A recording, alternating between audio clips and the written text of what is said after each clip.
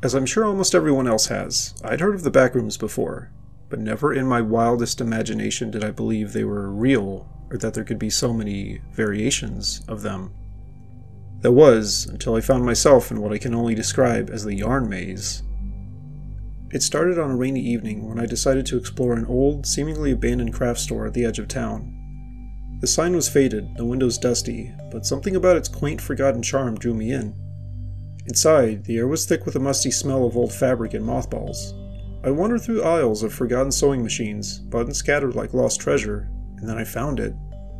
There was a door at the back, covered in a tapestry of woven yarn, intricate and oddly out of place. Curiosity got the better of me. I pushed the door, expecting resistance, but it swung open effortlessly, revealing not that storage room I anticipated, but a corridor that stretched endlessly. I couldn't help but notice that the walls were covered entirely in multicolored yarn. The pattern seemed to shift in the dim light, creating an illusion of movement, of life. I stepped in, thinking it a quirky installation or perhaps an artist's secret project. The door clicked shut behind me, a soft, almost inaudible sound, but in that place, it echoed like a vault ceiling shut. The air was different here. It was as if the yarn absorbed sound, creating a silence so deep it was almost loud. I walked forward, my footsteps muffled by the yarn underfoot, which felt unnervingly like walking on a sponge. As I ventured deeper, the corridor began to twist and turn, branching off into countless others.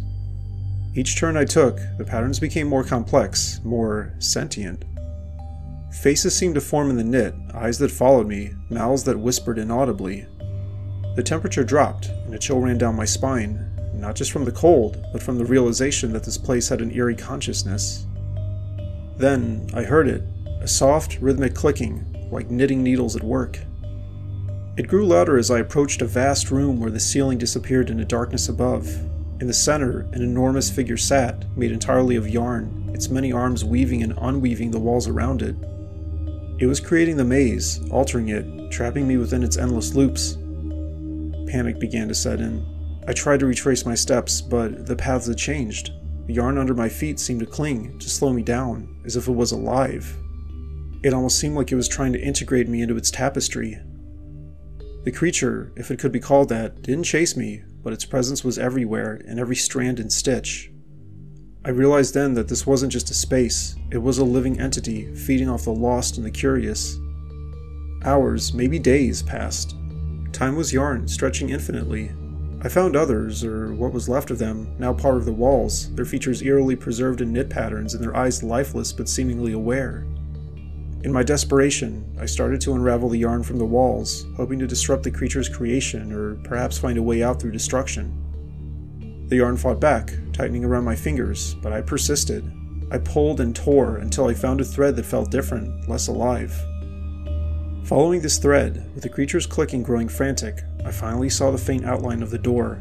With a burst of adrenaline, I yanked the thread, causing a section of the wall to unravel rapidly, creating a hole just as the yarn creature loomed over me, its form unraveling into chaos. I leapt through the opening, back into the dusty store, slamming the door behind me.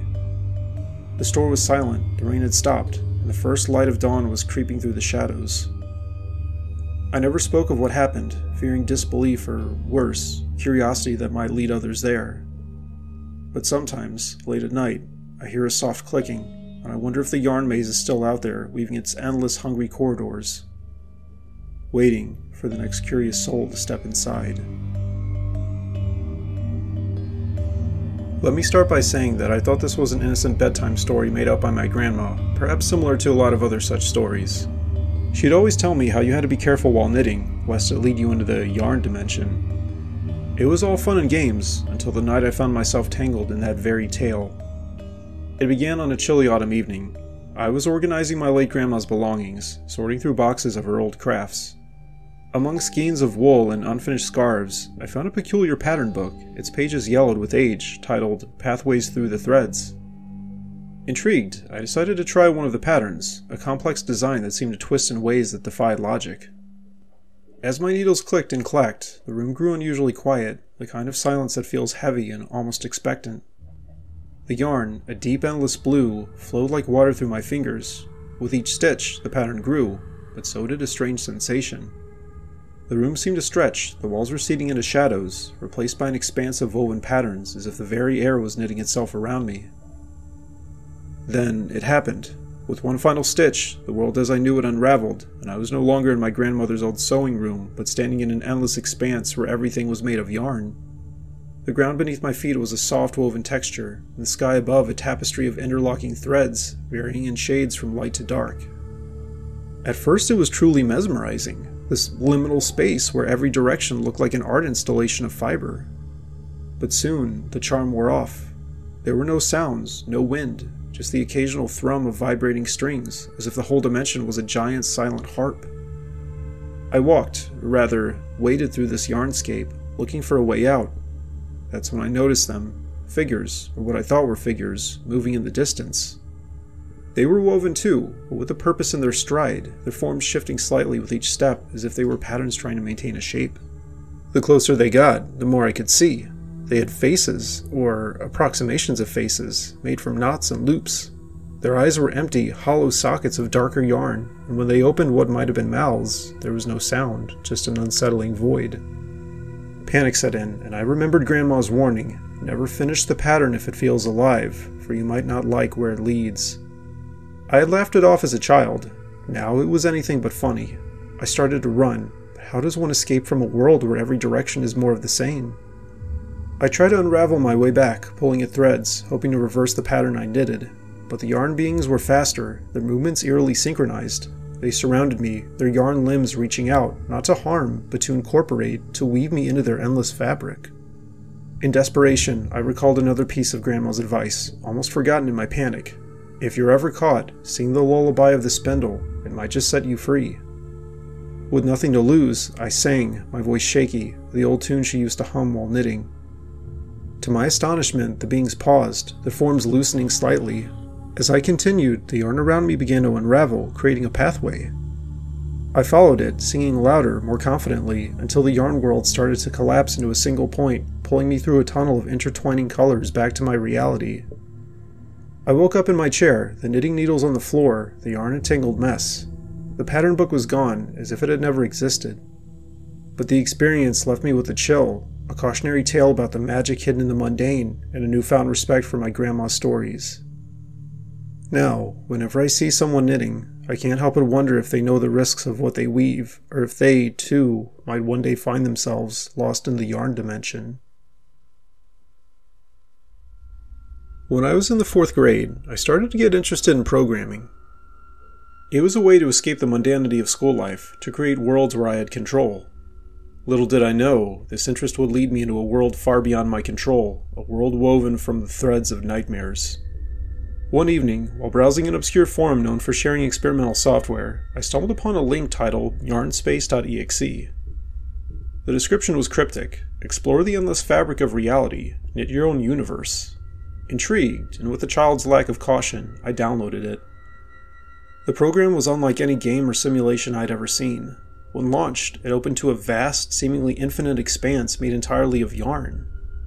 The textures were hyper realistic too. Each strand of yarn had its own shadow and its own slight imperfections. The ground, the sky, the occasional structures, all yarn, in various colors and weaves. At first, it was truly fascinating. I could manipulate the environment, pulling at threads to reshape the landscape or create objects. But the more I played, the more the game began to feel off.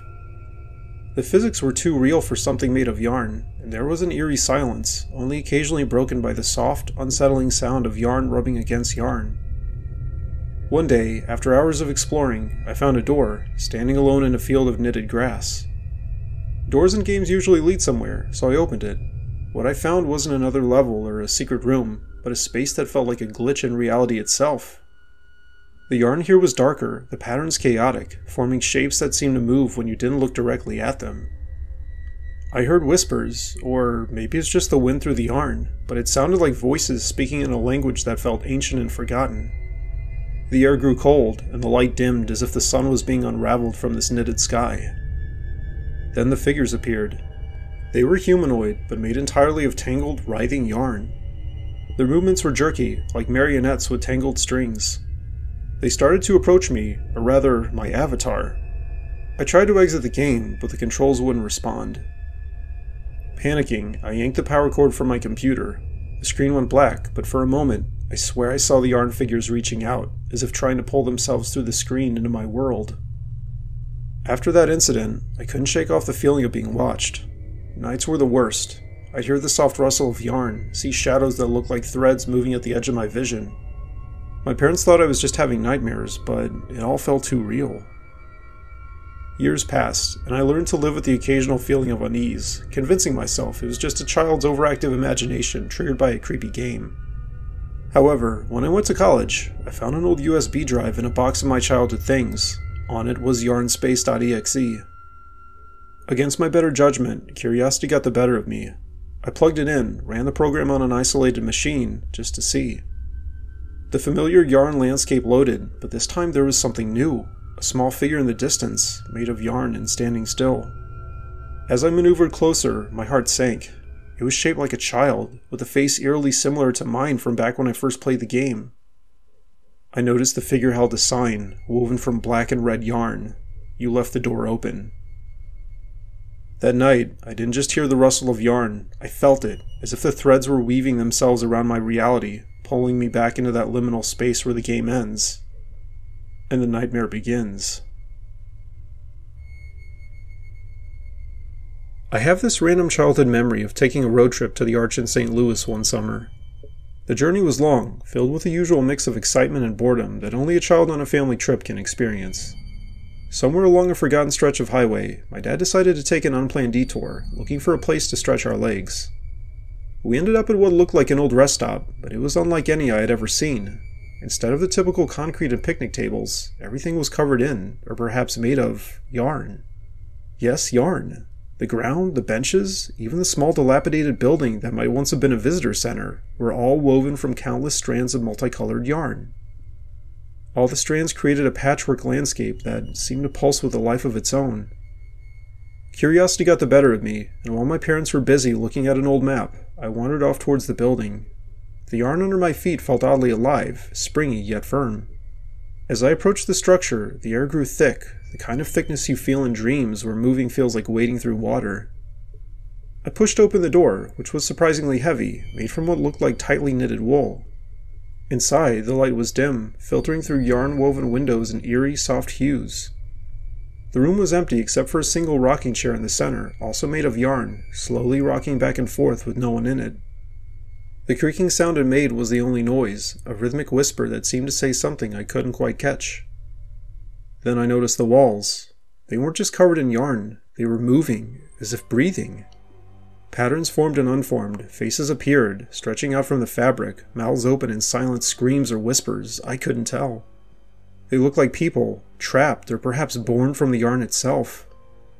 A cold dread settled in my stomach. I wanted to run, but my feet felt entangled, not by yarn, but by fear. That's when I heard a soft voice, almost like the rustle of wool, Stay with us. Knit with us. The faces on the wall seemed to lean closer, their expressions pleading. I don't know how, but I found the strength to move, to tear my eyes away from the hypnotic patterns. I ran out, the door slamming shut behind me with a muffled thud. Outside, the sunlight seemed almost too bright, the air too thin.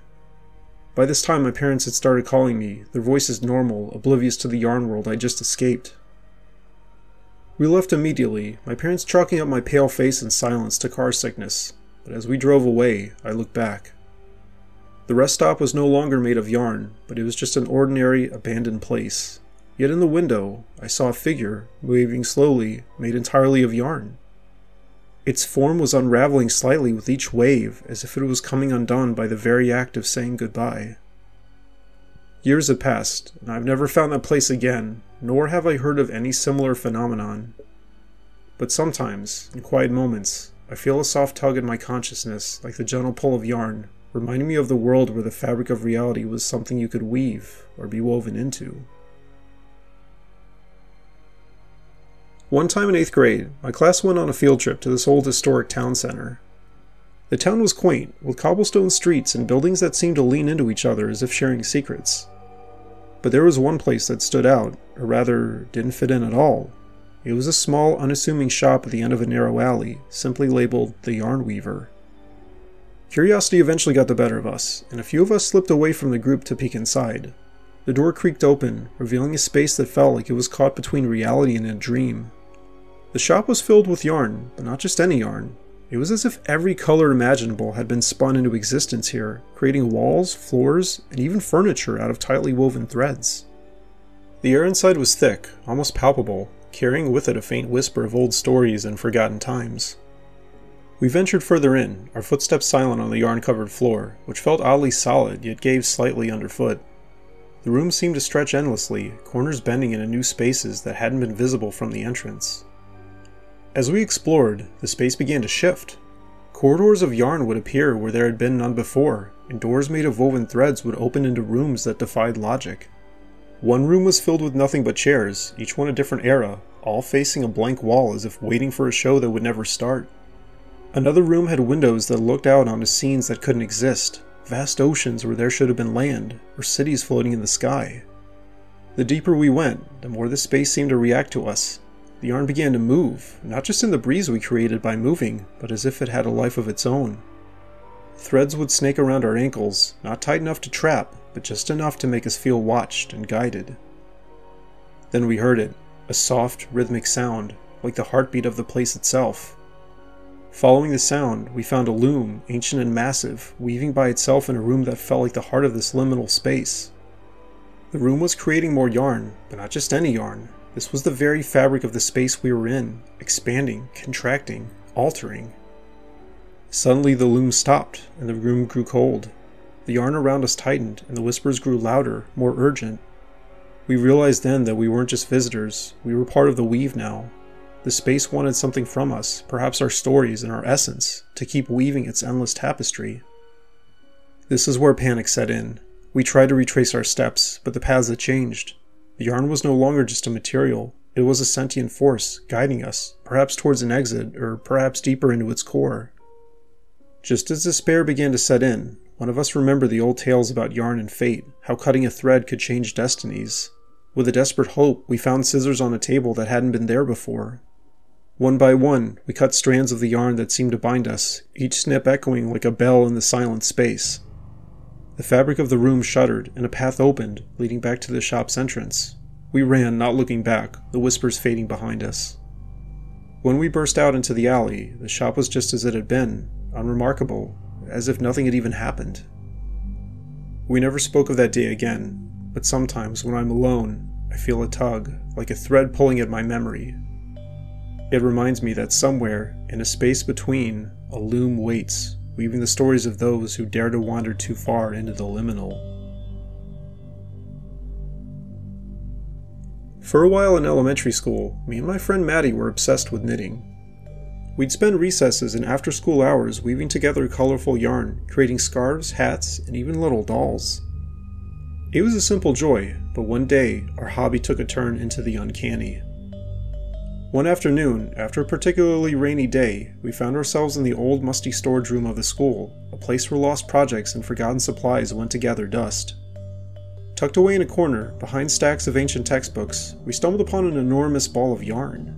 It wasn't like any we had seen before. It shimmered with an iridescent glow, changing colors subtly as if alive. Curiosity piqued, we decided to unravel it, thinking it might be enough to make something grand, like a tapestry or a giant blanket for the school's play area. As we pulled at the yarn, it seemed endless, stretching out into a fine, almost invisible thread that led us deeper into the room. This is when we noticed the air was growing colder and the lights were dimming, even though it was still daytime outside. The yarn led us to a part of the storage room we had never noticed before, a narrow, doorless passage that seemed to have been woven from the very yarn we were holding. The walls, floor, and ceiling were all made of tightly packed strands of yarn, creating a soft yet eerie tunnel. The texture under our feet was unsettling, like walking on a carpet of whispers. Maddie and I exchanged a look, the kind that says, Should we? But ultimately, the allure of the unknown was too strong. We ventured in, the yarn guiding us like a thread through the labyrinth of our childhood fears. The tunnel twisted and turned, the yarn changing colors more vividly now, glowing blues, haunting purples, and sickly greens. The air was thick with a musty smell of old wool, and a faint humming filled our ears, as if the yarn itself was singing a lullaby of dread. We walked for what felt like hours, though time seemed to stretch and warp in this liminal space. Shadows moved at the edges of our vision, shapes that looked like people but were made entirely of yarn, their eyes hollow, their movements jerky like marionettes controlled by an unseen hand. Then, the tunnel opened into a vast cavernous space, a hall with walls that seemed to breathe, pulsating with the rhythm of a heartbeat. In the center, there was a loom, massive and ancient, with a figure sitting before it. The figure was woven from yarn, its face featureless except for eyes that glinted with a cold, knowing light. Welcome, knitters, it spoke, its voice a chorus of whispers. You've brought me more material. We realized then that the yarn we had been following was not just leading us, it was absorbing us, weaving us into the fabric of this place. Our hands, where we held the yarn, had started to fray, becoming threads themselves. In a panic, we tried to retrace our steps, but the tunnel behind us had sealed shut, the yarn now forming a solid wall. The figure at the loom began to weave faster, and with each pass of the shuttle, the room grew smaller, the walls closing in. We screamed, but our voices were muffled, absorbed by the yarn. Just as despair began to take hold, Maddie, ever the braver one, grabbed a pair of scissors from her knitting bag. With a swift, decisive cut, she severed the yarn we were still holding. The world snapped back, we were back in the storage room, the ball of yarn now just mundane, lifeless, at our feet. But we never spoke of that day again, and we never touched yarn after that. Sometimes, in the quiet, I swear I can still hear that humming, a reminder of the liminal space where yarn wove reality into nightmare.